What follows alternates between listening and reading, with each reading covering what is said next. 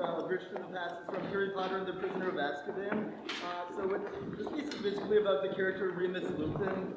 So it's, like, kind of in a sad position, like, lost his friends, he's been discriminated against. Uh, we don't want to give away too spoilers, but it's, Lupin has a rough time in the series, even though he's a really good guy. So I think you'll hear a lot of those sort of emotions in the song. It's sad and nostalgic.